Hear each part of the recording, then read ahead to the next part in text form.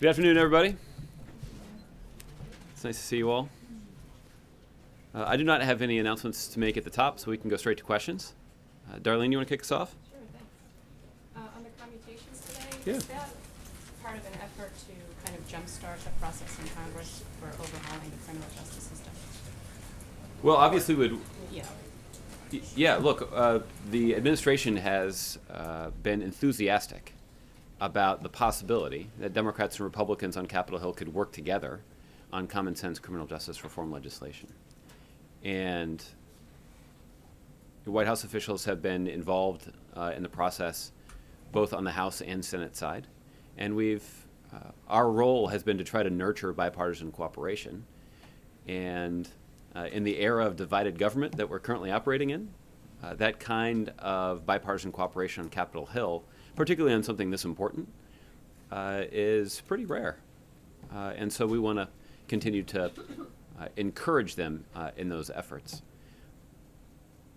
The the commutation process uh, uh, reflects the authority that's vested in the executive branch, vested in the office of the presidency, and represents a case by case review of people who have come forward seeking clemency. So uh, there are two different, the, the process is quite different, and uh, the issues are somewhat different. But if uh, the uh, announcement of 61 commutations uh, by the president today is a reminder of why criminal justice reform is important and serves to encourage greater cooperation and progress on a broader criminal justice reform package on Capitol Hill, then we'd obviously welcome that development. The process seems stalled, though. Would you describe it as being stalled on Hill? Well, There I, was a period there when yeah, Rs and Ds seemed to be working together to try to move legislation, but yeah. it, it seems stalled now. Well, I, I think um, I've uh, I've observed on many occasions that sometimes the legislative process on Capitol Hill doesn't work nearly as quickly as we would like, or as even or even as quickly as one could reasonably expect. Uh, but um, at this point, we continue to be encouraged by the fact that there are advocates of this legislation uh, in both parties, in both houses of Congress. Um, me, you know, one recent example is that uh, in the speech that Speaker Ryan delivered last week, I believe it was Wednesday or Thursday of last week, uh, his comments about the many problems plaguing the Republican Party got uh, a lot of attention, and understandably so. Uh, but he also had some comments that indicate his continued support for criminal justice reform. And look, there are not uh, too many situations in which I would say this, but uh, Speaker Ryan's description of why criminal justice reform uh, uh, is a priority for him, I think is something that uh, many people at the White House um, would would strongly agree with. Uh, that he talked pretty powerfully, I thought, about how about the importance of redemption uh, and how Speaker Ryan's faith informed his view uh, of this um, uh, of this issue. I don't think it was a coincidence that he chose to deliver these remarks and make this observation during Holy Week. Um, and look, it's just one example of a leading Republican uh, who's indicated that this is a priority that they share with the White House. Um, my guess is that as you get into the elements of competing legislative proposals, that there might be some differences that emerge uh, that will only just require Democrats and Republicans to uh, cooperate and compromise to work through some of those disagreements to arrive at the kind of solution that everybody can support. And um, I continue to be cautiously optimistic uh, that we'll be able to get that done even in an election year. Uh, I wanted to also ask about Syria. There's an interview that uh, President Assad gave to some Russian media where he is proposing a national unity government and is rejecting calls for a transitional ruling body. Is there any reaction to that from the White House? I, I didn't see the interview, um, and I don't know whether he envisioned himself being a part of that national unity government. Obviously, that would be a non-starter for us. And again, uh, we have raised the significant uh, concerns we have with President Assad's leadership, uh, the manner in which he has used that nation's military to attack innocent civilians uh, isn't just completely immoral, uh, it has also turned a large majority of the country against him. So it is impossible to imagine a scenario where the political turmoil and violence inside of Syria comes to an end while President Assad is still there. And by there, I mean in a uh, in the president's office in Syria. So that's why we have been clear for years that the successful resolution of the political chaos inside of Syria isn't just critical to solving the many problems plaguing that nation and the broader region, it also will require President Assad stepping aside. Syrian forces recently retook the town of Palmyra from ISIL. I Mhm. know that the U.S. position is for Assad to go, but how does the White House feel about Syrian forces retaking that town? And he's also said they're going to push on to Raqqa, which is the ISIL de facto capital or whatever. Well, I um, a couple things about that. I mean, the, the first is obviously that uh, the ISIL, the actions that ISIL undertook while Palm, Palmyra was under their control, um, were terrible. Uh, they plundered precious historical artifacts that actually illustrate the um, uh, the common heritage uh, that um, that we all have. Uh, you know, they also carried out terrible acts of violence against uh, the individuals uh, who are responsible for protecting that heritage. Um, so, seeing them driven out of that location, seeing ISIL driven out of that location, is obviously uh, a welcome development. But that doesn't change the basic calculus that I just described, uh, which is that the political turmoil inside of Syria will not recede uh, as long as President Assad is in office. And uh, you know that's why we continue to believe that he must go. Okay, Roberta. Two weeks since uh, President uh, Putin said he would partially withdraw the Russian military from Syria, um, there seems to have been a buildup in Moscow shipping more equipment and supplies to Syria according to an analysis of shipping data and patterns. And I'm wondering um, how closely the United States is tracking that um, partial withdrawal and whether the White House has concerns about what's happening in terms of the withdrawal or, or the shipping of more military supplies there. Uh, I haven't seen the uh, the analysis that you just cited. I can tell you uh, more generally that the uh, United States and our coalition partners, including our intelligence agencies, are carefully uh, watching the situation inside of Syria for a variety of obvious reasons. Um, the early indications after making the announcement that they were uh, planning a military withdrawal uh, out of a, at least a large portion of Syria, uh, that the Russians were following through on that commitment. I haven't gotten an updated assessment uh, on that, but I haven't also been alerted to any sort of change in that assessment. Um, you know, our case to the Russians uh, has been for, frankly, uh, was a case that we were making prior to the to, to their military buildup. You recall that Russia has had a pr- military presence in Syria for a long time, and they were using that military presence uh, to shore up uh, President Assad's uh, grip on power. We were concerned about the military buildup because that military buildup was used to further strengthen President Assad's hold on power. And our view is that by strengthening President Assad's hold on power, it was only going to make it harder for us to reach uh, a diplomatic and political agreement among the variety of parties uh, who are concerned about Syria. Because President Assad wouldn't have nearly the, uh, uh, the same kind of incentive to negotiate. Uh, he certainly wouldn't have the kind of incentive to consider uh, leaving the country. And we've made clear, and a variety of opposition groups have made clear, that that's what will be required uh, to uh, reach a political agreement. So, um, what's notable about that is that the Russians themselves identified this as a top priority. They understood and said publicly and privately that a political transition inside of Syria was required to try to bring an end to the chaos and violence there. And yet they were engaged in a military strategy that actually hindered that uh, those negotiations. Um, so, uh, what we're hopeful of uh, is that Russia will continue to engage uh, in that political process constructively uh, and bring about the kind of transition uh, that is so clearly in the interests of not just the United States and Russia, but a variety of countries in the region, and certainly in the interest of uh, the opposition parties, many of whom are representing civilians that have been innocently slaughtered by Bashar al Assad. And can you um, tell us a little bit more about what exactly President Obama hopes to accomplish when he meets with leaders this week at the summit on um, in the session on Islamic State Mhm. um, specifically?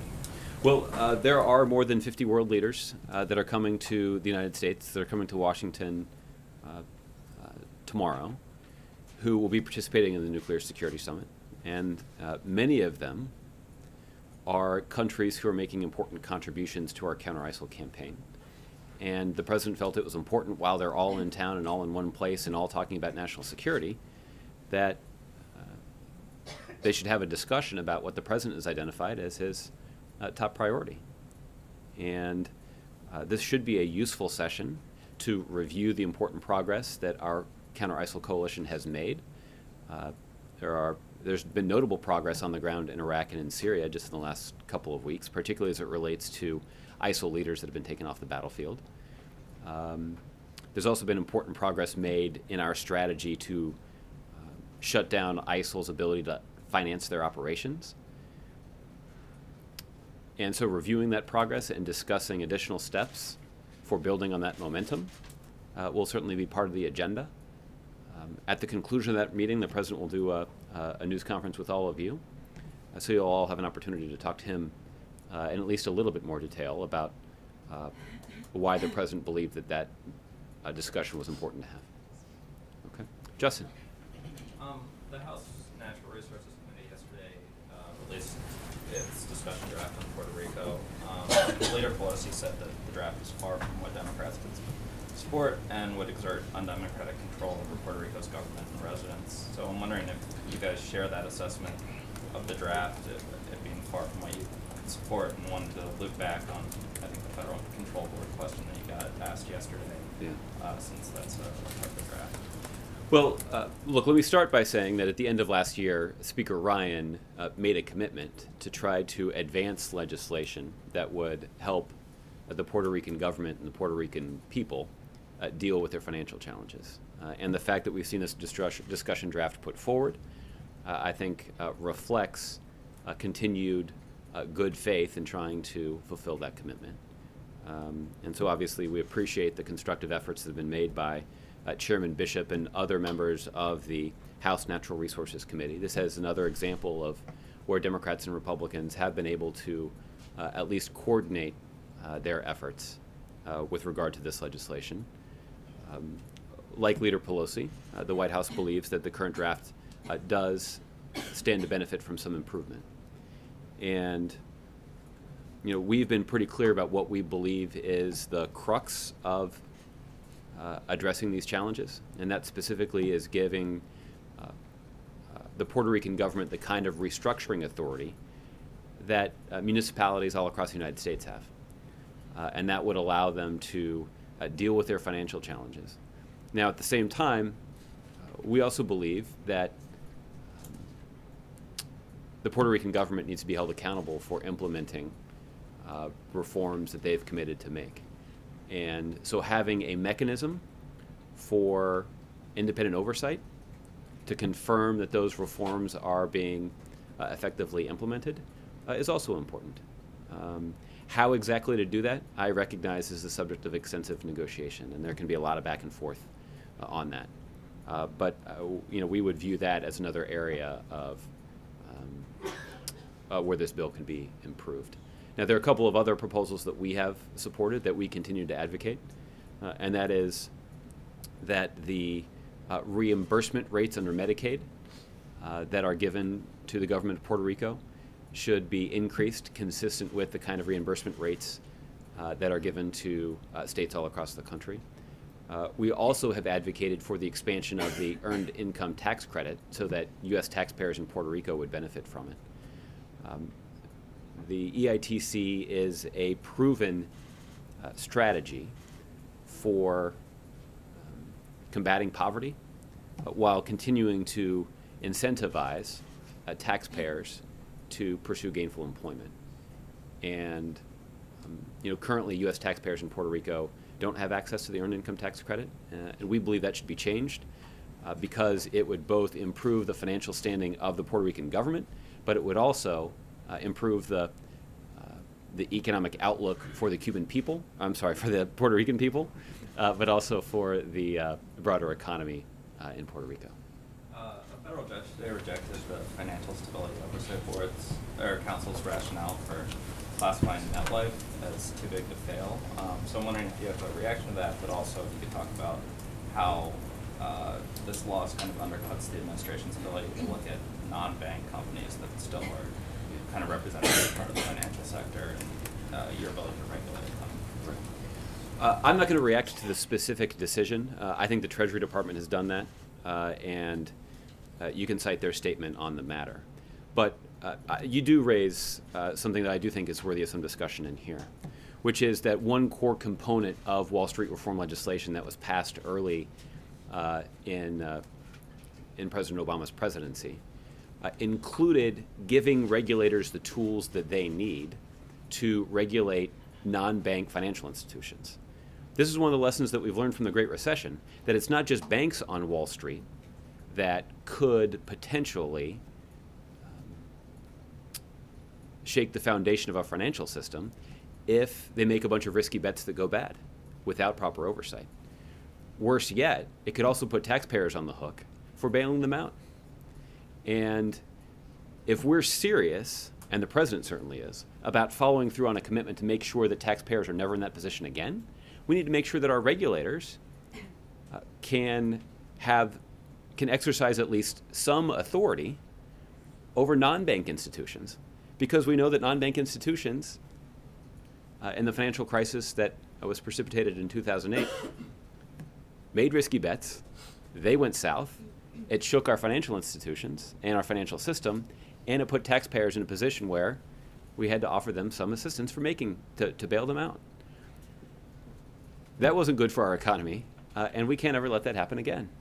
That's why giving uh, financial regulators in the United States greater authority over non-bank institutions uh, was so important. And uh, the president believes strongly uh, in that principle, uh, and you know that's why Wall Street reform created the FSOC in the first place, uh, and it's why the FSOC has been um, taking a close look at what they call uh, systemically important financial institutions. Um, so this principle is, is one that the president believes in, and it's an obvious one. It's based on our uh, on the experience that we all went through in uh, in the midst of the financial crisis in 2008, and it's why uh, the president worked so hard to pass legislation to address it. Let me say one other thing, and uh, I'll let you follow up. Many of our critics warned that passing Wall Street reform that would give regulators additional authority, including over non-bank institutions, that passing these kinds of regulations would be overly burdensome, that they would uh, throw a cold, wet blanket uh, over uh, innovation and the dynamism of our financial markets. They were wrong. We can take a look. We, we, we can evaluate this. We can just look at the numbers and see. This, this will sound familiar to you. Every month since President Obama has signed into law the Wall Street Reform Bill, our economy has created private sector jobs every single month. And we have seen the growth in the stock market be rather dramatic uh, over that time period. So it is clear that we can effectively regulate financial institutions to protect taxpayers without stifling economic innovation and economic growth. We can do both. We have to be smart about it. But again, I think the results over the last five years uh, speak for themselves, and I think they speak loud and clear.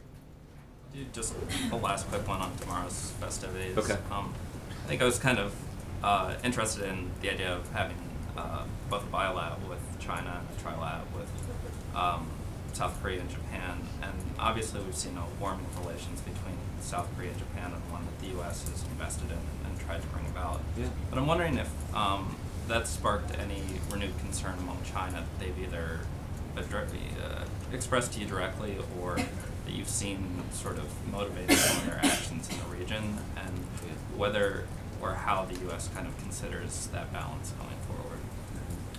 Well, uh, just in the United States has uh, invested uh, quite a bit of time and diplomatic energy into uh, encouraging and promoting the reconciliation between two of our closest allies in the Asia Pacific region, South Korea and Japan.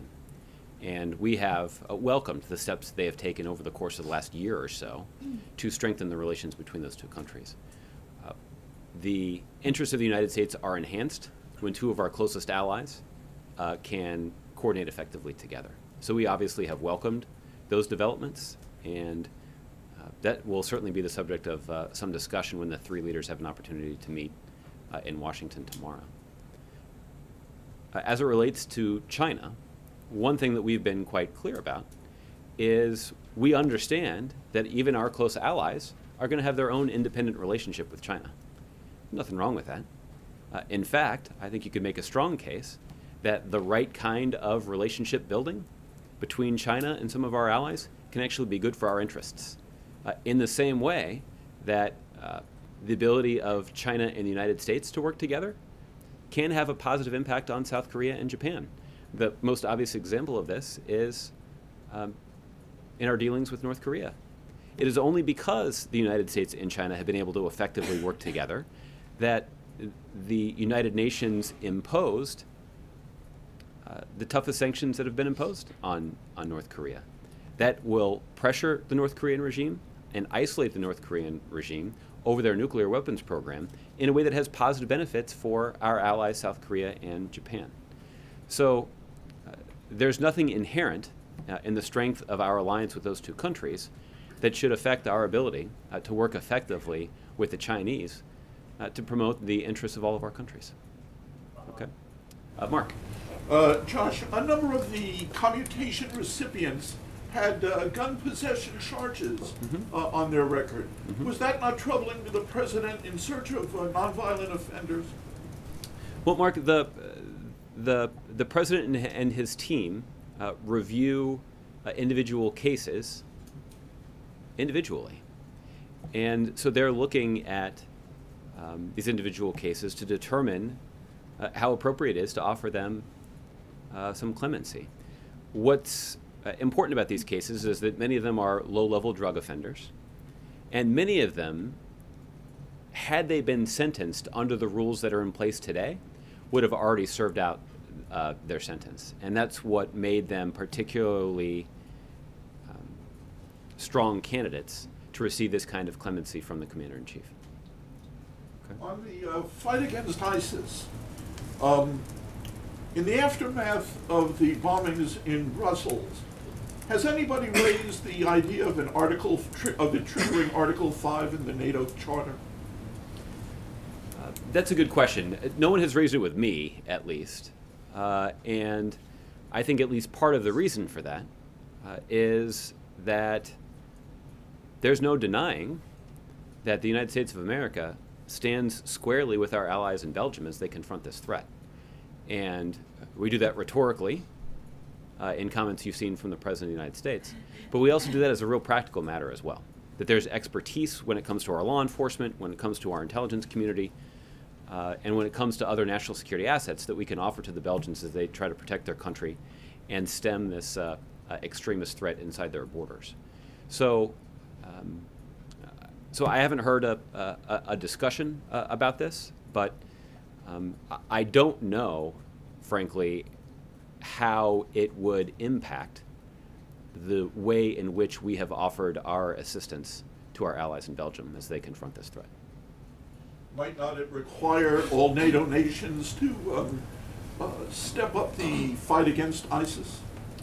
Well, we obviously have An been. attack on one is an attack on all. Yeah, yeah. But look, I, I, we have been pleased with uh, the kind of response that we've seen from our European allies uh, and the contributions that they've made to our counter ISIL coalition. Uh, in certain cases, we believe that there is certainly more that they could do.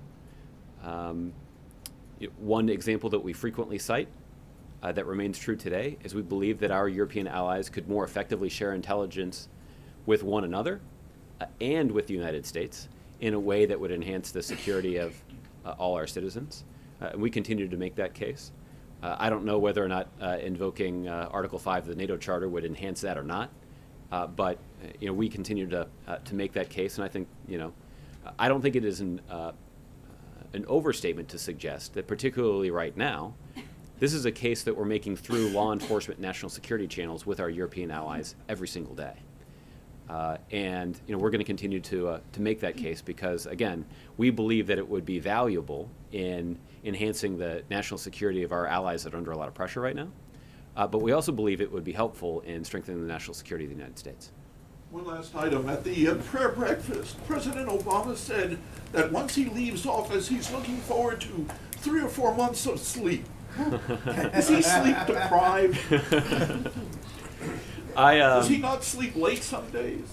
well I um, I don't know the answer to that. Uh, uh, presumably, presumably he does. Maybe on the weekends. We can ask him Friday. Yeah, I guess that uh, if you choose to uh, choose to ask. Uh, look, I I think the president's just making reference to the fact that uh, you know after serving as president for eight years, that uh, uh, anybody anybody would be due a little uh, a a little R and R. I- He But didn't and R. He said sleep. well, I, I, I think that um, uh, those two things aren't inconsistent. And look, I, I think the president is prepared to spend the next nine months um, uh, uh, uh, losing a little sleep uh, as he thinks through how he can maximize the opportunity that he has left uh, while he remains in office. Thanks. Okay, Chingy. Josh, uh, regarding the bilateral meeting uh, between President Obama and President Xi, we know the nuclear cooperation will be the major topic there. And other than that, what are those uh, major issues in your mind will be at the top of the agenda? Well, uh, that's a good question, Chingy. There obviously are a wide range of issues that uh, the United States and China are able to effectively uh, coordinate on. Uh, certain, the best example of that recently is that you know our efforts to work together uh, to isolate and apply further pressure on the North Korean regime for their uh, destabilizing um, uh, activities on the Korean Peninsula. But there are other areas where uh, uh, where the United States and China, through their coordination, can make progress for both of our countries. Uh, I'm confident that there will be a discussion about the global economic climate. Uh, obviously, this is an issue that's gotten a lot of attention in China, and that has consequences for the U.S. economy. And so I would anticipate that there will be a discussion uh, of that. Uh, cybersecurity is an issue that often comes up between the United States and China. Uh, we were pleased uh, with the progress that we were able to make in those discussions when President Xi visited the White House last fall. Uh, and I'm confident that, uh, that there'll be a, additional discussion of that. As we say, the president often regularly brings up the issue of human rights, and I would anticipate that he'll bring up that issue once again in his in his conversation with um, with President Xi. Uh, once that meeting has concluded, uh, we'll uh, try to get you a more detailed readout of uh, of the agenda that they followed, uh, and try to give you some better insight into exactly what was accomplished in that conversation. I can tell you that you know that, that President Obama looks forward to every opportunity that he has to sit down with President Xi. He obviously respects President Xi and is appreciative of those areas where they have been able to effectively coordinate to advance the interests of citizens and, and uh, uh, of uh, where they have been able to advance the interests uh, of both our uh, country's citizens. We know this will be the eighth meeting actually between the two leaders Mhm. since 2013. Yeah. So this is actually a quite high tempo of highest level engagement. So what's the significance of that uh, to bilateral bilateral relationship between uh, China and United States, and how do you describe their relationship? I, I- think what I would say is, frankly, that the frequency of the meetings is an indication of uh, how many issues uh, uh, our countries are able to coordinate on. Uh, I left out an important one, uh, which is climate change. Uh, you know, th- the ability of the United States and China to work effectively together on this issue was critical to the completion of the UN climate change agreement in Paris at the end of last year. And the president observed uh, when that agreement was reached in Paris that that wasn't uh, the end of our work to coordinate on issues related to climate change. It actually was the beginning. Uh, and I would anticipate that President Obama and President Xi uh, will talk about how we uh, can advance the global effort to fight climate change by taking steps inside both of our countries. Okay? Michelle. Can you say definitively whether it is the case that Erdogan asked for a private meeting with President Obama and he declined that? Well, uh, I don't know what sort of request President Erdogan uh, put forward. You can check with his office. Uh, what is true is that President Obama uh, has met frequently with President Erdogan uh, uh, in the last six months or so, twice at the end of last year, both in Turkey and in Paris. There have been additional. There have been phone calls between the two leaders. In addition to that, Vice President Biden was in Turkey just in the last six weeks uh, and had the opportunity to sit down for a one-on-one meeting with President Erdogan. And I would anticipate that the vice president will uh, sit down in a formal meeting with uh, with President Erdogan uh, when he's here this week. Uh, and I certainly wouldn't rule out uh, a conversation between President Erdogan and President Obama while he's here as well. The reason for all those engagements is that there are a number of issues where we are working together on, and that certainly includes Turkey's efforts to fight terrorism inside of Turkey, but also to uh, continue to um, enhance the military pressure that's being applied against ISIL. Why not a bilat, though, since they are such an important piece of that puzzle, and since they obviously have asked for a more formal meeting? Can, can you just sort of once and for all say yeah. why not a bilat with Erdogan? Uh, because the world leaders are only here for two days, and there are 50 of them, uh, and uh, that is obviously uh, going to prevent President Obama from meeting with each of the world leaders who are here. Uh, but again, I, uh, it also presumably would rule out Vice President Biden meeting with each of the world leaders who are here. But yet, he is going to make time in his schedule for President Erdogan, and I'm confident that President Obama uh, will also make at least a little time uh, for. Uh, some kind of conversation with President Erdogan while he's here too. So, are there other world leaders too then that have asked for bilats, and there just wasn't time to accommodate them? I'm sure there are. Okay, and um, Erdogan today made some interesting comments to CNN saying that um, Europe as a whole has failed to um, address the significance of the terror threat that they face, and that Belgium in particular exhibited a similar negligence. Um, but, but he's talking about negligence on the part of Europe as a whole. What do you think of those comments? Mm -hmm. Well, uh, Europe is in a unique situation. Uh, there are the president has been focused on this issue of foreign fighters uh, since the very uh, emergence of ISIL on the global scene. Uh, you'll recall that uh, just a month or two after the president initiated military action against ISIL in Iraq and in Syria, uh, he convened a United Nations Security Council meeting with other world leaders who were attending the United Nations General Assembly. a session focused specifically on shutting down the flow of foreign fighters to Iraq and in Syria. And the concern that we've had all along uh, is that individuals who travel to Iraq and in Syria would get training, would be further radicalized, and then could use potentially their passport to return home uh, and carry out acts of violence uh, in their home country. Uh, that is apparently what, uh, uh, what happened with the attacks that we've seen in Europe recently. And we've been mindful of this threat, and we've been focused on countering this threat from the beginning. What's unique about Europe are two things. One is they have a relatively significant population of individuals that fit the description that I just offered. Individuals who left Europe, traveled to Iraq and in Syria, fought alongside ISIL, and have returned home. Uh, Europe is also geographically closer to that region than the United States. Uh, and again, that puts uh, Europe in a particularly difficult situation in mitigating this threat. That's why the United States uh, continues to support them as they undertake these efforts. I think the Europeans themselves have also acknowledged that there's more that they can and should do to protect their citizens and to protect their individual countries. Um, and we're obviously going to stand with them and encourage them as they do that. I mentioned uh, to um, to Justin, I believe, that one example of how they could do that would be to improve their intelligence sharing, both among European countries but also with the United States. uh, that would be one uh, example of how they could begin to plug some of the gaps uh, that uh, have emerged. The White House feel that, though, that they have done all they can? I mean, when you have the situation where Turkey is warning them about a particular individual that's now back in Belgium, and, and Belgium, you know, obviously what happened happened. Yeah. So, um, Yeah, and look, I, I, the Belgians, uh, the Belgians uh, have acknowledged that, uh, that that was an error and that was a mistake, and that there needed to be reforms to their methods uh, of transmitting this information so that they could uh, better protect their people and better account for those potential risks. Um, and uh, you know, obviously, they're right about that. And yesterday, Ben Rhodes talked about Russia not attending the summit tomorrow, and you know he, he acknowledged that there there's still cooperation and there's still ongoing dialogue, and all of that. But um, what message does that send to the White House? They're they're not attending this. What's Well- your take on that? Well, look, I, the, the fact is the Russians um, uh, have been able to effectively coordinate uh, with the United States on our top nuclear priority, which is preventing Iran from obtaining a nuclear weapon.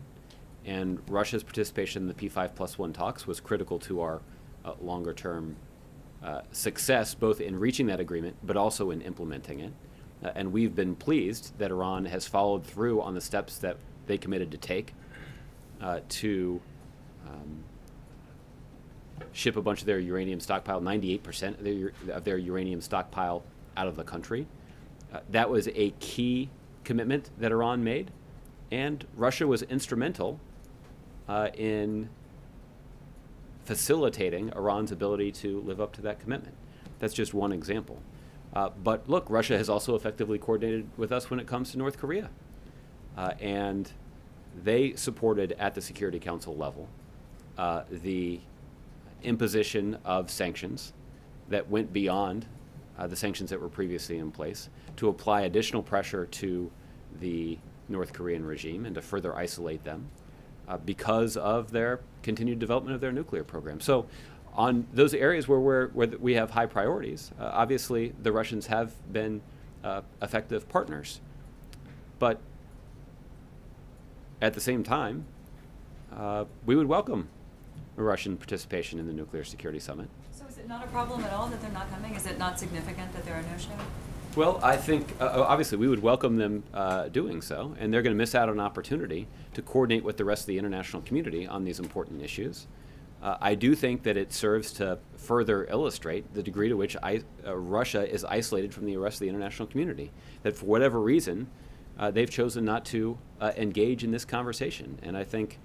Um, uh, you know, I'm sure some of that is at least in part related to uh, tensions that they have with the United States and other countries and other regions of the world, including Ukraine.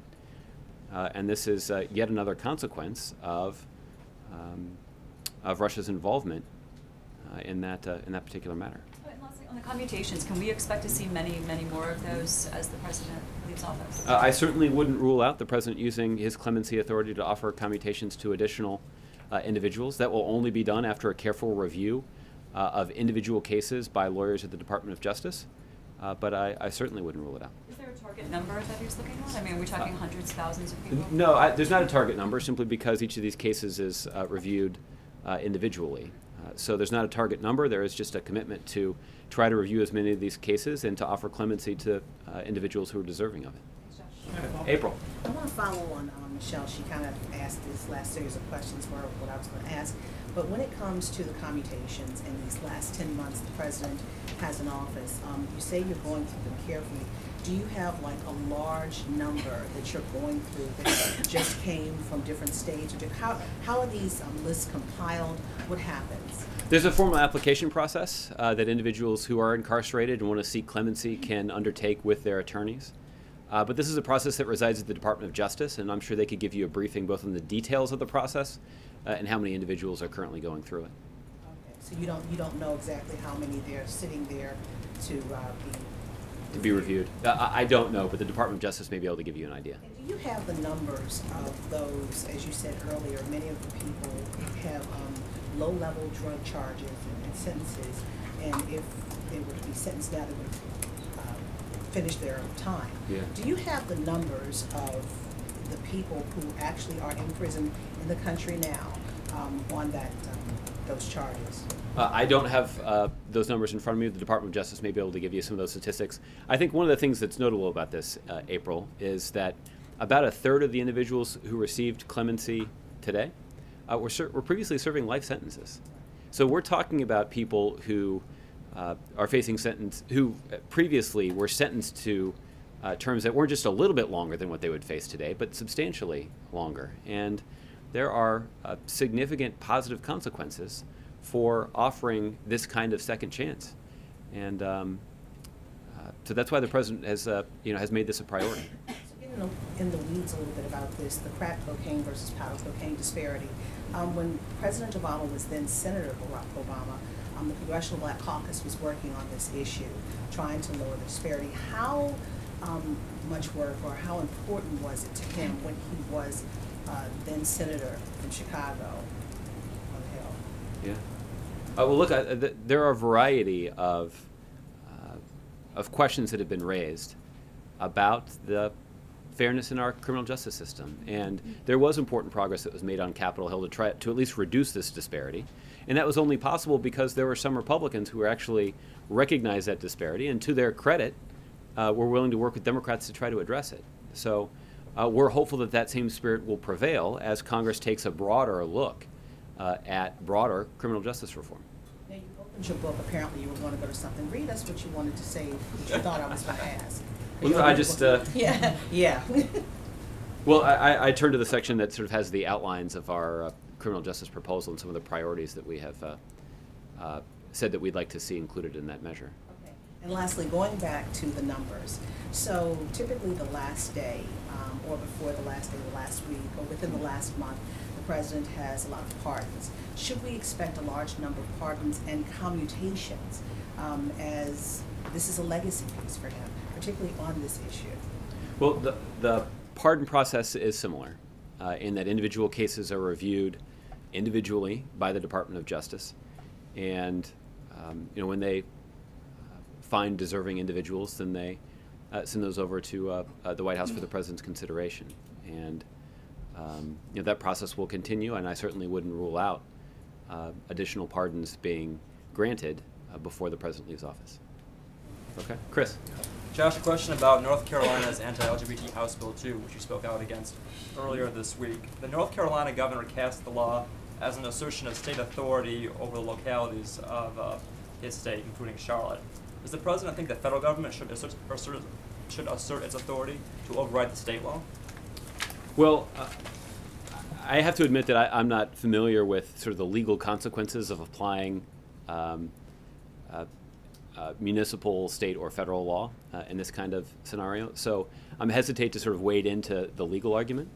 I think that um, what is true is that Governor McCrory has chosen to use his state authority in a rather mean spirited way.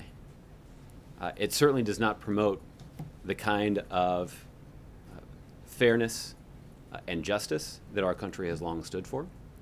And uh, that's why I think you've seen uh, the president uh, speak out when other states have pursued similar measures. And we're going to continue to, uh, to do that. As I observed in, uh, I guess, in the, uh, uh, in the gaggle that I did yesterday, the, the president was quite pleased with the Supreme Court decision that was handed down uh, last summer uh, that guaranteed the uh, freedom to marry. Uh, and um, but the president recognized, even at the time, that while that was a decision that was worth celebrating and progress that was worth celebrating, that was far from the end of the struggle.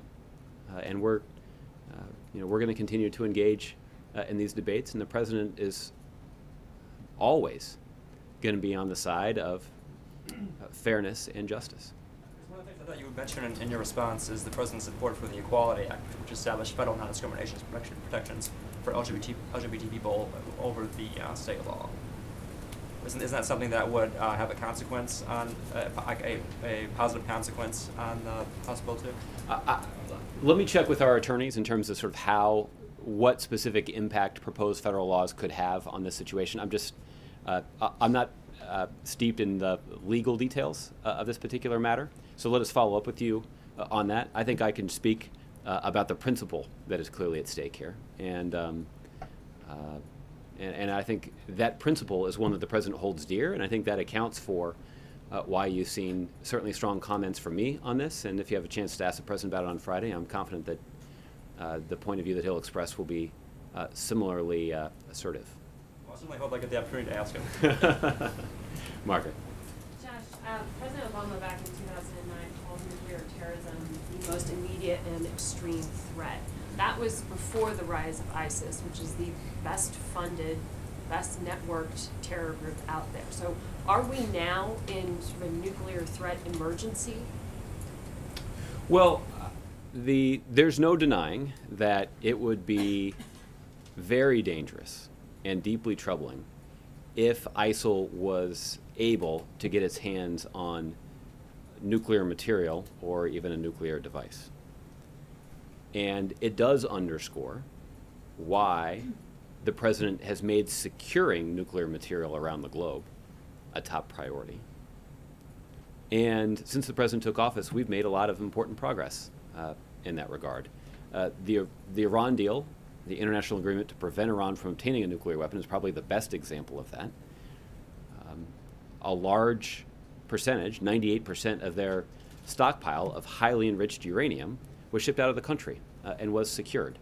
That's, a, that's a good example. Are you concerned about Iran selling to ISIS?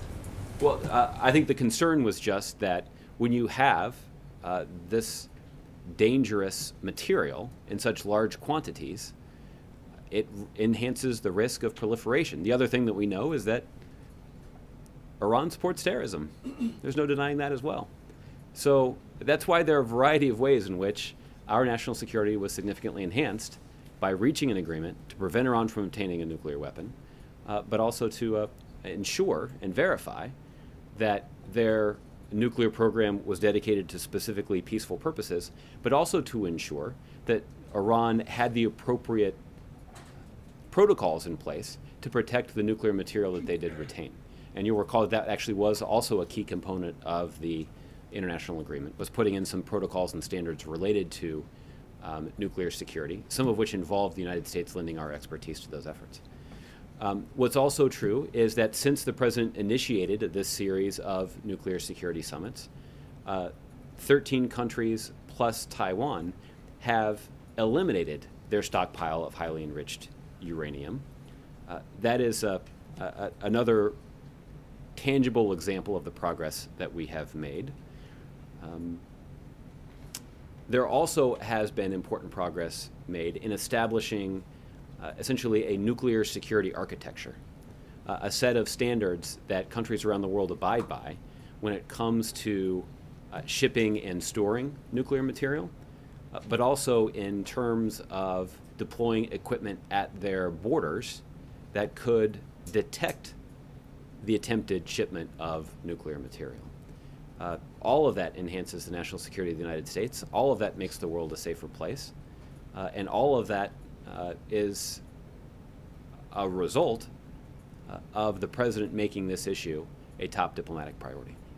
So do you think the threat from nuclear terrorism is greater or lessened? Well, I think uh, there's no denying that the risk to the United States has been reduced because of the uh, progress we've made in the context of the Nuclear Security Summit and the series of them that we've hosted over the last several years.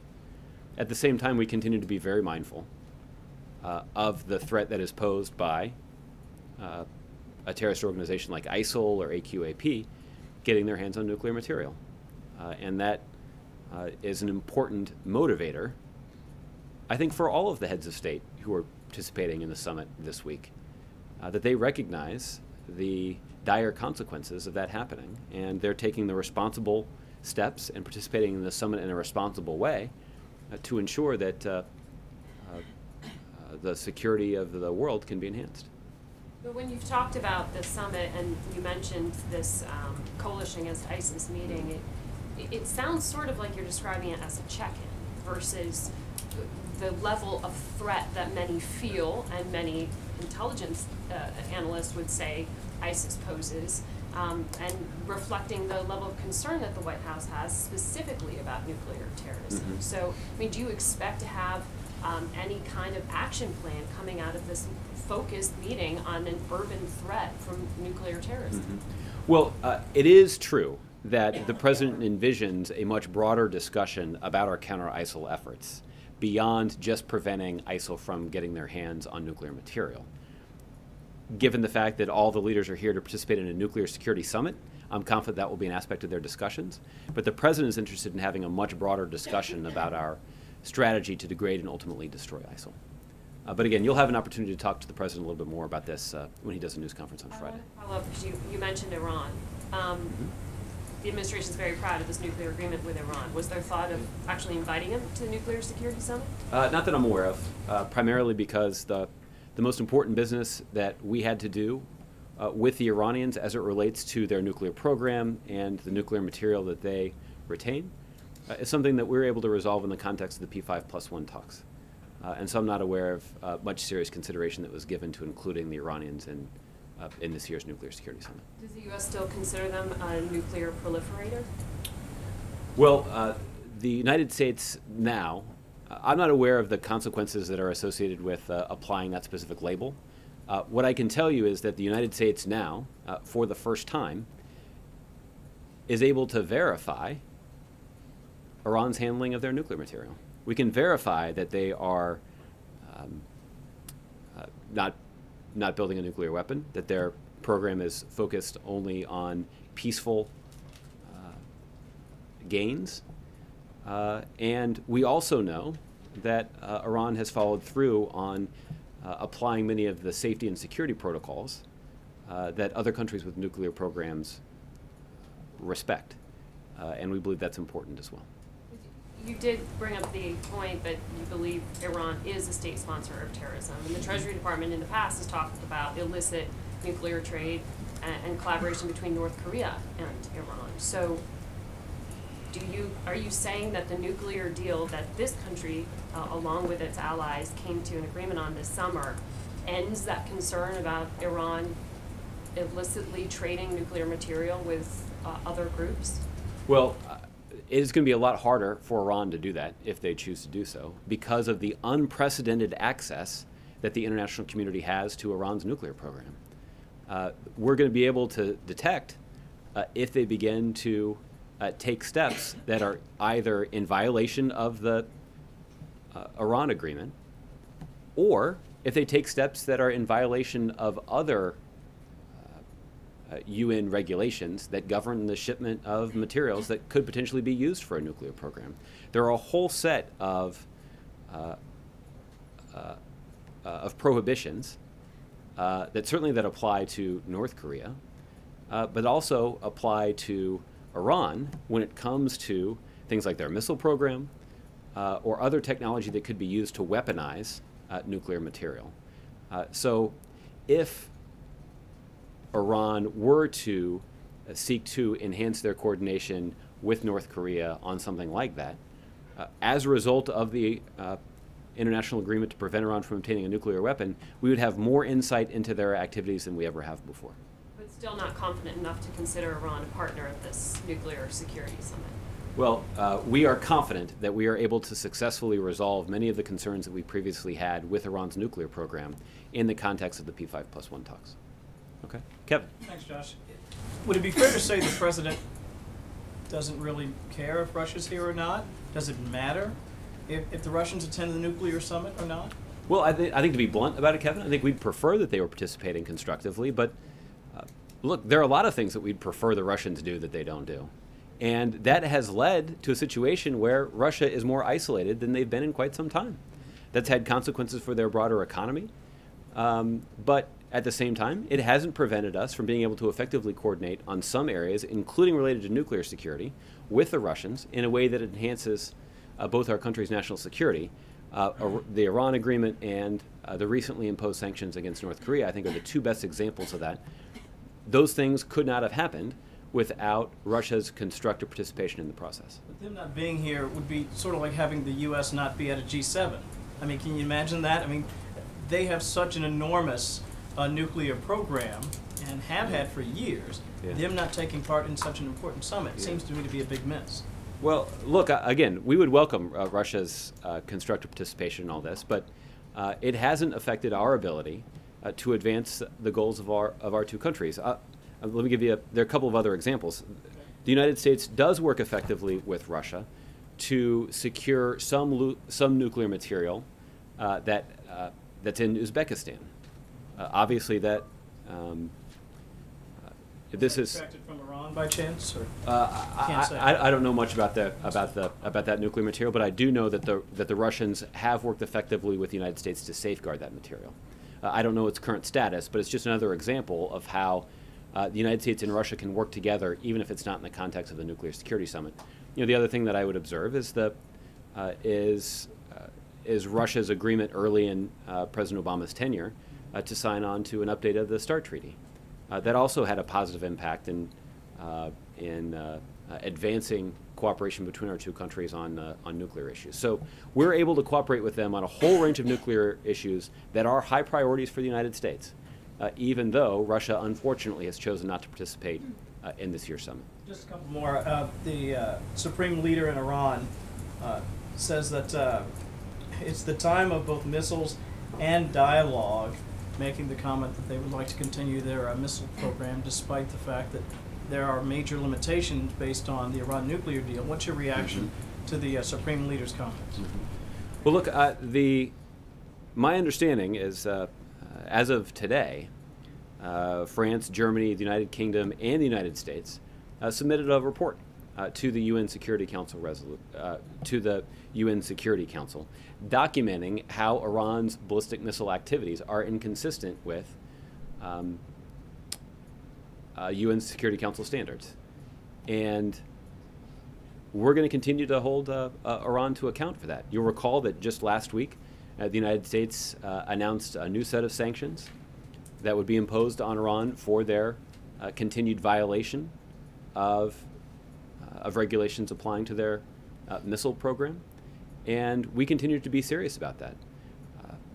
We've announced that next month, the president will be traveling to Saudi Arabia, where the president will be meeting with uh, Saudi Arabia and other GCC countries uh, to discuss uh, our ongoing efforts to coordinate our interdiction efforts. We know that Iran is trying to illicitly uh, ship and acquire technology that could be used to advance their ballistic missile program. And we uh, continue to look for ways to coordinate with other countries in the region to prevent that uh, illicit behavior from continuing.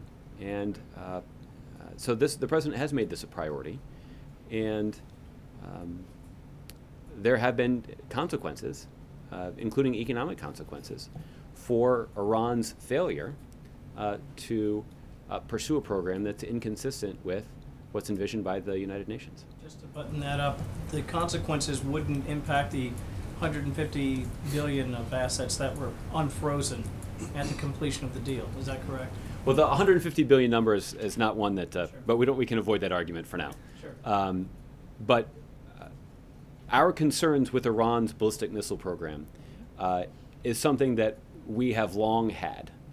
Uh, and our efforts to reach an international agreement to prevent Iran from obtaining a nuclear weapon did not address our longstanding concerns with Iran's ballistic missile program, except the reason that we were trying to and were committed to successfully completing this agreement to prevent them from obtaining a nuclear weapon is we were mindful of the fact that they were also developing a missile program that would make the development of a nuclear weapon even more dangerous. So that's why we made this a priority. Uh, but no, to answer your question directly, uh, no, our ongoing concerns with uh, Iran's ballistic missile program and our efforts to counter it uh, will not affect our ability to continue to implement the agreement that will prevent Iran from obtaining a nuclear weapon that could potentially be placed atop a ballistic missile. Final one for me is the uh, FBI Apple story. Um, should the American public, from the White House's perspective, have any presumption of privacy uh, from law enforcement being able to essentially hack into their telephones or other devices? Yes, absolutely. And the reason they should be confident in that privacy is because there are laws on the books that are assiduously followed by our law enforcement and national security officials that protect the privacy of the American people.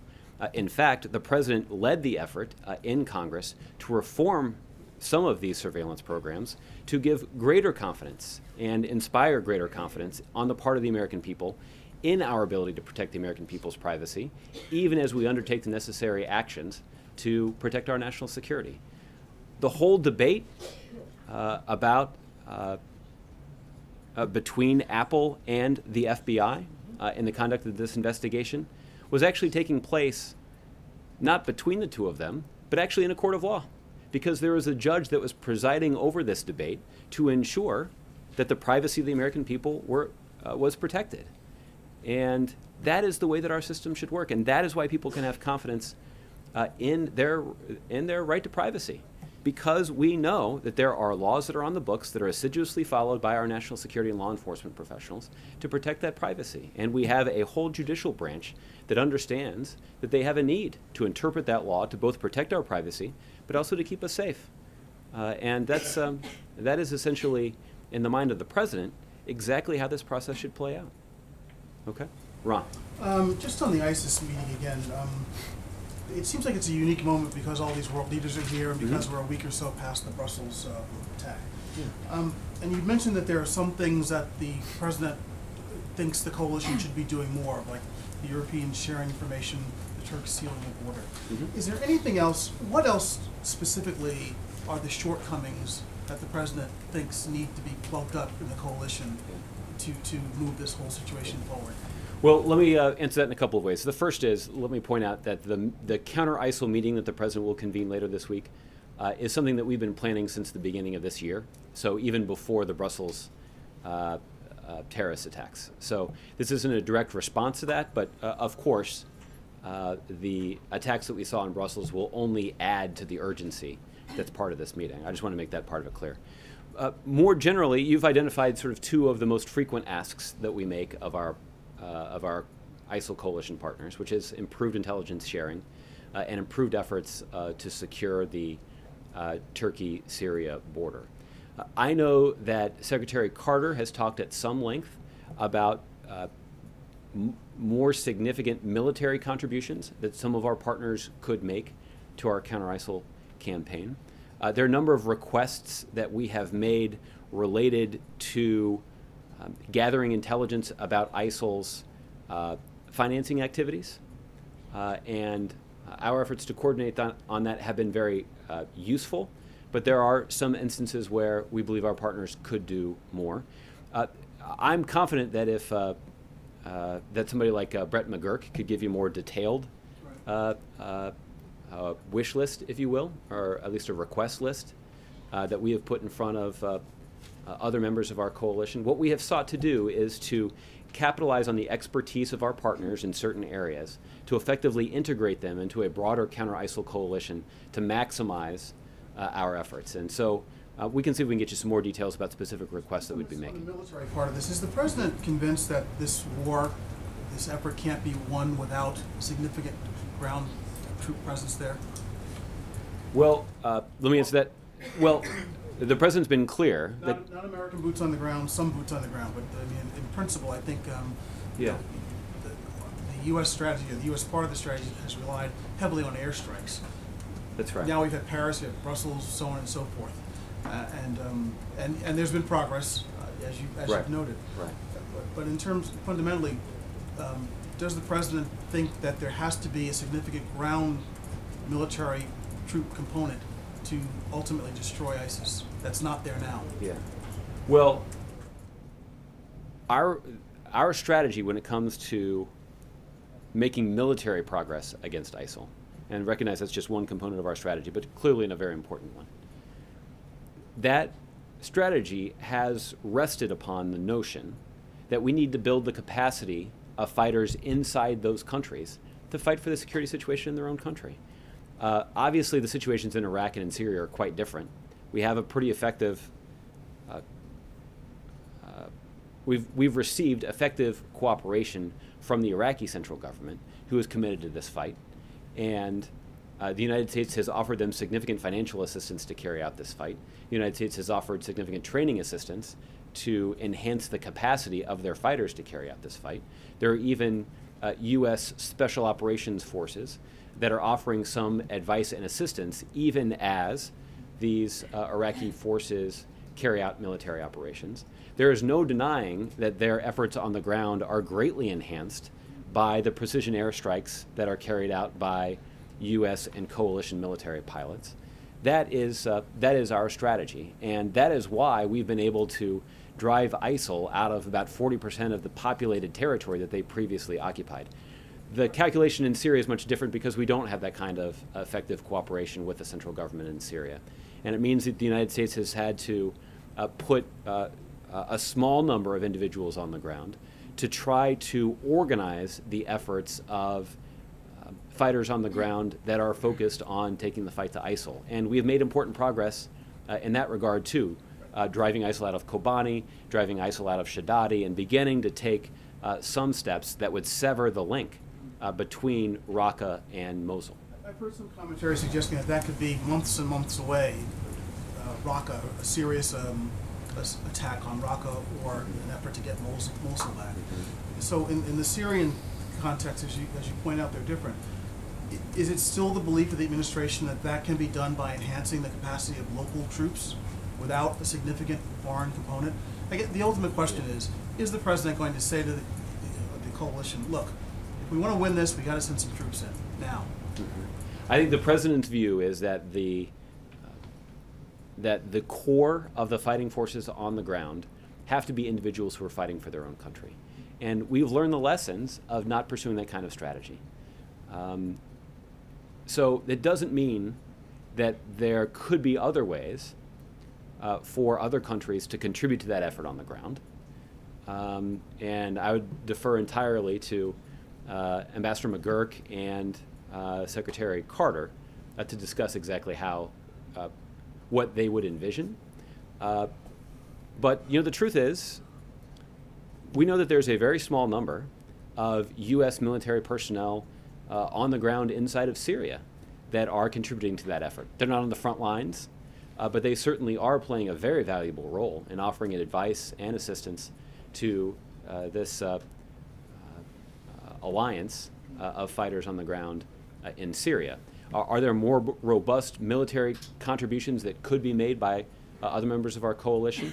I certainly wouldn't rule that out. But the principle that we're dealing with here is that the core of the fighting force on the ground uh, can uh, and must be people who are fighting for their own country. On the uh, Judge Garland nomination, is there anything that's happened over the last day or two that gives you more hope or optimism? Besides, the, I know there was the meeting with um, um, Senator Kirk. Yeah. Um, is there anything else that you can point to as progress towards moving this nomination Yeah. forward? Well, I, I think I would certainly would direct you to, to the public comments made both by uh, Senator Kirk and Senator Collins uh, in the last 24 hours that I think would sound strikingly similar to the kinds of sentiments that you've heard me and other administration officials articulate about the Senate fulfilling their constitutional responsibility. Uh, Senator Kirk said, uh, he observed, uh, and uh, when you just say you're not going to meet them and all that, it's too close minded. Uh, there's a pretty direct rebuke of the uh, statement from the Senate Majority Leader and the Chairman of the Senate Judiciary Committee, who said that they didn't intend uh, to meet with this individual. Senator Grassley has uh, more recently expressed some openness uh, to that, and we're working to schedule that with him. Senator Collins, in some ways, was even more direct. She said that she was perplexed, her word, by the position that was taken by uh, Senate Republican leaders. she said, It just seems to me to be no basis in saying that no matter who the president nominates, we were not going to consider that individual. So uh, I think that does represent, uh, I think that does serve as an illustration that more than a handful of Republicans are pretty uncomfortable with the position that they've adopted vis a vis Chief Judge Garland's nomination to the Supreme Court. But there are no more firm commitments, no more firm meetings, no, nothing that's definitely on the books that, um, that we didn't know about. Uh, nothing And that I have- the Grassley meeting is still somewhat, um, not scheduled. Uh, it is not scheduled at this point, but we're working with them to schedule it. But look, there are now um, 17 Republican senators that have indicated an openness uh, to meeting with him. Uh, you'll recall that in the hours after Justice Scalia's untimely death, uh, Leader McConnell put out a statement definitively ruling out any sort of Senate consideration uh, of the president's nominee. I think this represents a significant erosion uh, in his uh, uh, or in the Republican Party's position. I also uh, would note that there's been an, uh, a not insignificant erosion in the Senate Republican poll numbers. That we have seen the American public express some concern with uh, the Republican insistence that they're not going to fulfill their constitutional responsibility. I think the American people understand that this is not a principled position that they're taking, it's a political one. Uh, and that's uh, Senator Johnson, a Republican from Wisconsin, admitted as much. He said that the Senate would be treating uh, a Republican president's nominee much differently than they're treating President Obama's nominee. And they're doing that not because they have any substantive objection to Chief Judge Garland. Republicans say that too. They're doing that only because he was nominated by a Democratic president. That's not the way that our system is supposed to work. And uh, again, there's ample public data to indicate that most Republicans are uncomfortable uh, with that kind of contention. And uh, that's, that's the case that we're going to continue to make. And that's why uh, we, uh, I think that's why we've seen the progress that we've made thus far. It's not at all unrelated to the fact that the president has appointed someone whose, non, whose qualifications are beyond question. We've appointed somebody who understands that it's his responsibility to interpret the law, not to advance a political agenda. And that's something that he's demonstrated over his 19 years on the bench, which, by the way, is more federal judiciary experience than any other Supreme Court nominee in the history of this country. Let me, let me ask you one more about politics since you raised politics. Mhm. Um, Corey Lo- Lewandowski, Lewandowski, what do you Mhm. say- what's your reaction to what's happening with? Well, I have to admit, I haven't been following the ins and outs of this legal case very closely, so I don't know if. Well, I, look, I, I, I, at at least in terms of the, the ins and outs of the legal case, I haven't been following it. I don't, look, I don't know if he's made bail yet, for example. But uh, that was a joke. you guys are no fun. I walked out here telling Schultz we are going to have some fun today. That's, I, I'm, well, Yeah. that's my question. Just your reaction to, to, to There you go. Well, look, I, here's the thing. I um, there is no denying that the kinds of actions and statements we've seen uh, uh, from this campaign is uh, completely outside the realm of acceptable behavior that's been observed by Democratic and Republican presidents over the course of our history. Uh, and so I feel confident in doing something that I'm always loath to do, which is to express a view that I'm confident that even President George W. Bush would agree with. Uh, and this is relevant because this is a prospect that Mr. Trump raised. I am confident that neither President Ob- Obama uh, nor President Bush would tolerate someone on their staff being accused of physically assaulting a reporter, lying about it, and then blaming the victim. That is completely unacceptable behavior. Uh, and I'm confident that I know for a fact that's not something that President Obama would tolerate. And I feel confident in telling you that that's not something that uh, President Bush would tolerate. Uh, I'm also confident in telling you that nobody's particularly surprised that that's behavior that Mr. Trump doesn't just seem to tolerate, he seems to encourage. What about how do you, the President Bush part of this? How do you know that or suspect Well, I, that? I suspect that based on the kinds of principles uh, and commitment to values that, despite our political differences, make clear that assaulting a reporter is wrong, assaulting women is wrong, uh, and the accusations that have been raised about Mr. Lewandowski's conduct go directly to those uh, core values. Uh, and again, I'm happy for uh, uh, uh, for uh, President Bush or someone that works for him to uh, to say this definitively on their own. I'm confident that they, uh, despite our many disagreements on a range of other issues, I'm confident they would agree with me on this one. Thank. Okay, Colleen. Thanks. One other Trump-related question. Okay. um, Donald Trump said last night that more countries should have nuclear weapons, uh, including Japan and South Korea. Um, Yeah. That obviously I guess we won't invite him to the nuclear security summit Right, either. That, that seems an interesting, interesting message, right? As the president's convening the nuclear security summit. Yeah. What's what's your response to the suggestion that more countries should be developing their own nuclear weapons? Yeah. Well, um, that prospect would be uh, incredibly destabilizing. Uh, and um, I think the best way to sort of view this, well, I, I think there are a couple different ways to view it. Let's do it through um, sort of through the prism of examining the situation in North Korea. Right now, the policy of the United States, a policy that is strongly supported by the broad international community, is that we should denuclearize the Korean Peninsula. Um, so, Mr. Trump's suggestion that somehow we should encourage our allies in South Korea to develop nuclear weapons is directly contrary to a policy that the United States has long pursued, uh, and is directly contrary to a policy that the international community has long supported. Uh, and it's hard for me to imagine why uh, it would be a good idea to give the North Koreans any justification or any incentive to further accelerate their nuclear weapons program. It Doesn't make any sense. Uh, and what protects South Korea and Japan is knowing that they have the steadfast support of the most powerful country in the world. And the United States will stand shoulder to shoulder with them as they confront the nuclear menacing from uh, North Korea. They, they, they rightly take great comfort uh, in that. Uh, and it is why uh, it's particularly important that our country is led by a commander in chief who understands the consequences of his words and his policy decisions. Okay. Scott. Josh, you mentioned the process at DOJ for reviewing clemency applications. The woman that used to run that process quit in January. And thanks to USA Today, we now know she complained in her resignation letter about all kinds of roadblocks, some of them involving access here in the White House. Is the White House doing anything to address that?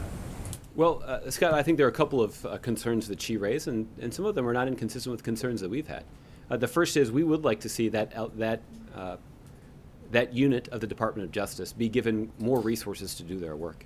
And in the president's latest, budget proposal, there's a significant uh, increase proposed for uh, the budget of that office.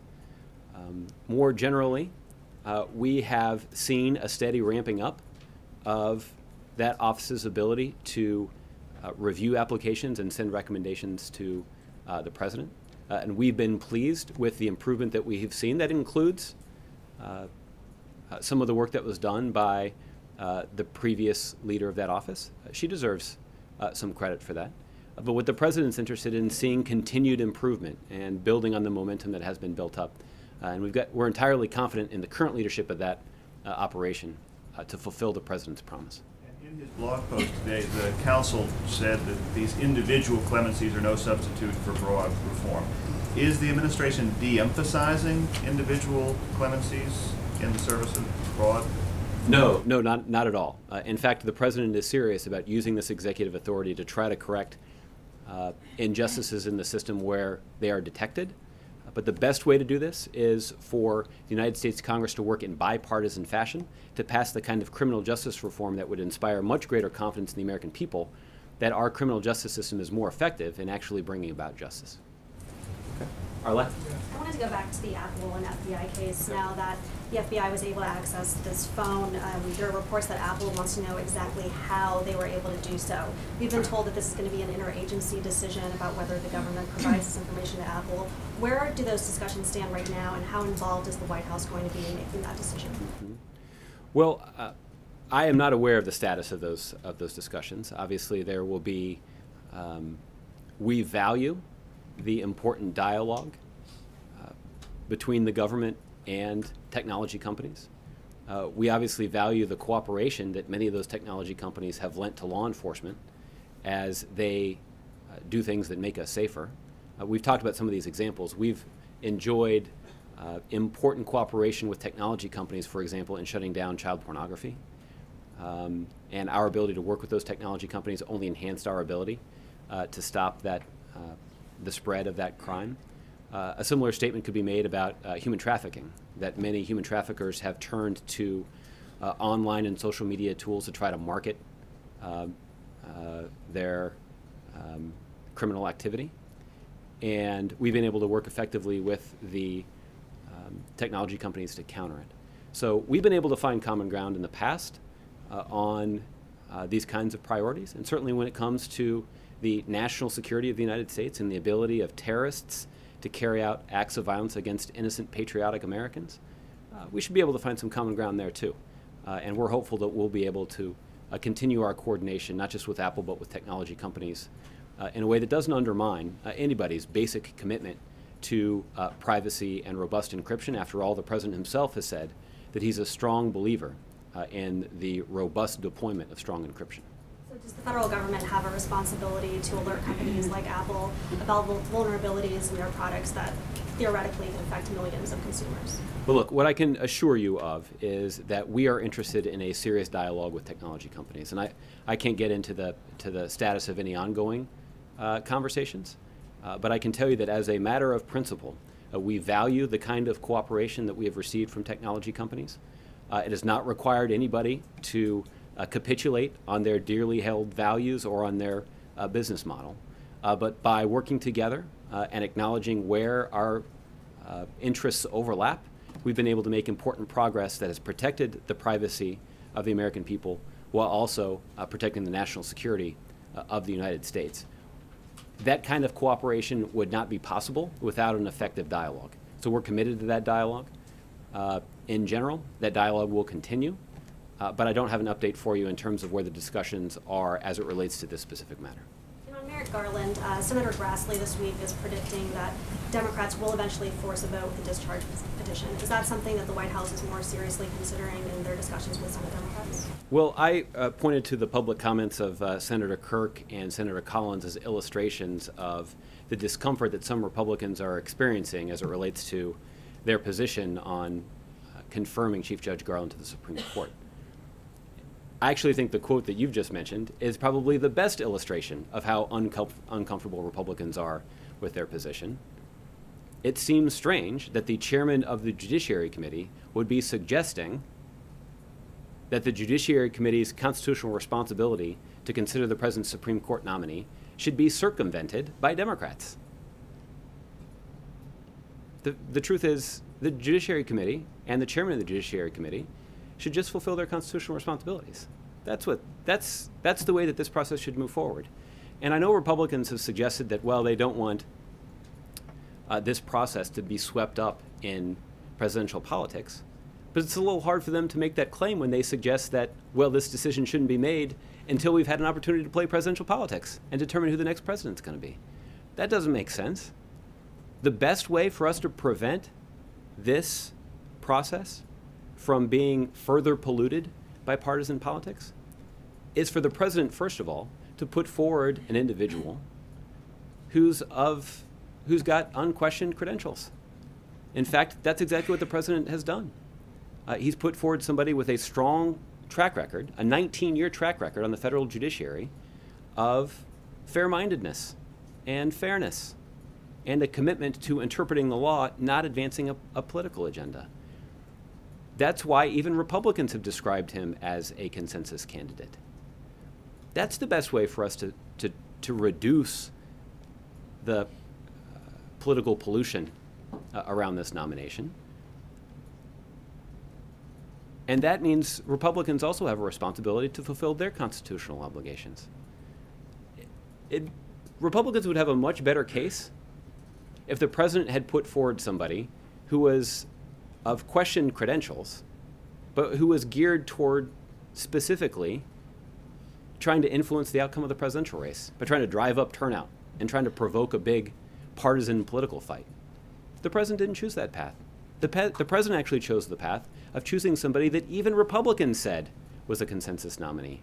And even in the last two weeks, after Republicans promised to treat the president's nominee as a pinata, even most Republican senators have acknowledged that they, it's kind of hard to argue with the fact that Chief Judge Garland deserves a lifetime appointment on the Supreme Court. His credentials and his public service to this point demonstrate that he is clearly qualified for that important job. But I'm not suggesting that they should just take the president at face value or even Judge Garland at face value. The president put forward Chief Judge Garland's nomination promptly, within four or five weeks, so that there would be ample time for the Senate to conduct their usual process. And that includes giving Chief Judge Garland the opportunity to testify before the Senate Judiciary Committee. I described it as an opportunity. It makes it sort of sound good. Typically, those hearings are pretty tough. You're on camera for hours at a time, you're testifying under oath, and you're facing tough questions from Democrats and Republicans about a range of complex legal issues that have significant consequences for the United States. That's an arduous process, but that's what it should be. That's the arduous process that any nominee of the Supreme Court should have to undergo. Uh, and the president is confident that after Chief Judge Garland goes through that process, that in the minds of the American people and the members of the United States Senate, that they'll all arrive at the same conclusion, or that they should arrive at the same conclusion that the president did, which is that Chief Judge Garland would serve with honor and distinction on the Supreme Court. And that's why we believe that uh, uh, the United States Senate, and particularly the members of the Senate Judiciary Committee, should get to work. So can you tell us, is a discharge petition a viable option that the White House is considering? Well, right now, what we believe should happen is that the Senate Judiciary Committee should do their job. And I, I'm not, I- I'll be honest with you, before Senator Grassley uh, mentioned this at a town hall meeting in a way that apparently was uh, unplanned and um, not terribly thought through, I didn't realize there actually was a dis- discharge petition process on the Senate side. I, now, that may be my own bias. I briefly worked on the House side and was aware of that, how that process worked. Um, so I can tell you that's not something that's gotten serious consideration over here, primarily because there's ample time for Senate Republicans to actually follow through on Leader McConnell's promise to get the Congress moving again. And there's no reason that if we operate under the timeline that previous Supreme Court nominees have in the last 30 years, that Chief Judge Garland should be able to get a hearing and a fair up or down vote uh, before the Senate goes into recess, and more importantly, before the Supreme Court begins uh, their next term in October. If the Senate doesn't do that, we will be encountering uh, uh, a situation that is unprecedented in at least recent Supreme Court history, uh, in which one judicial vacancy actually has an impact on two different Supreme Court terms. Okay? John. Thank you, Josh. Um, one question, does the White House, through its Congressional Affairs Office, talk to any of these Republican senators, such as Senator Collins, Kirk, or Moran of Kansas? Or is this all spontaneous? Is it news to you when they make statements like this as it is to us? Or have they been talking to the Congressional Liaison Office at all? Well, I can tell you that the White House uh, was in touch with every office uh, of every United States senator in advance of the president announcing Chief Judge Garland was the nominee. The president takes quite seriously his responsibility to offer advice and consent. And when we have seen public statements from individual senators indicating their uh, willingness or even desire to have a meeting with Chief Judge Garland, then we've contacted them. We followed up with them to schedule those uh, meetings. So uh, we have been in touch, but I, I feel confident that uh, that Senator Kirk and Senator Collins here are uh, articulating their their genuine opinion on this. The other thing is, uh, Iran um, on January 28th signed an agreement, I believe it was signed by President Rouhani himself, to acquire 118 Airbuses that presumably are going to be used for commerce and business. Is there any uh, evidence at all that this has benefited U.S. business in the last three months in any way? Well, uh, I guess I'd, I'd encourage you to check with uh, with the Commerce Department on this. Obviously, there are a whole range of regulations uh, that prevent uh, extensive business ties between the United States and Iran. That's because we have concerns about the way that Iran continues to support terrorism, the way that uh, Iran frequently violates the basic human rights of their people, the way that uh, uh, Iran continues to develop a ballistic missile program, the way that Iran continues to threaten our closest ally in the Middle East, Israel. And uh, that's left uh, Iran uh, pretty isolated. Now, they've gotten some sanctions relief because they have followed through on their commitments as a part of the international agreement to prevent Iran from obtaining a nuclear weapon. Uh, we didn't trust them to do that. We verified that they followed through on those commitments. Uh, but the, the significant limitations that remain in place on U.S. businesses doing business with Iran uh, haven't changed and won't change until we see Iran begin to pursue a path that demonstrates a commitment to complying with basic uh, universal uh, or inter- at least international principles about um, uh, human rights and terrorism and uh, their military program. Okay? Andrew, I'll give you the last one. Um, I just wanted to go back to, to clarify something you said at the beginning. It's the administration's position that Assad should step aside before a transitional government, not at the end of a transition. Uh, what we have said, Andrew, is that President Assad must step aside because until he does, uh, we will not see an end to the political turmoil and chaos that's been plaguing that country for far too long. Uh, it is because of President Assad's failed leadership that we have reached this point. Uh, that is the root cause of the violence and mass migration that we've seen there. It's also the root cause of the terrible atrocities that have been committed in Syria and the hundreds of thousands of people uh, who've lost their lives as a result uh, of President Assad's failed leadership. And that's why we continue to believe that we're not going to resolve this situation until President uh, Assad makes a clear commitment to leave.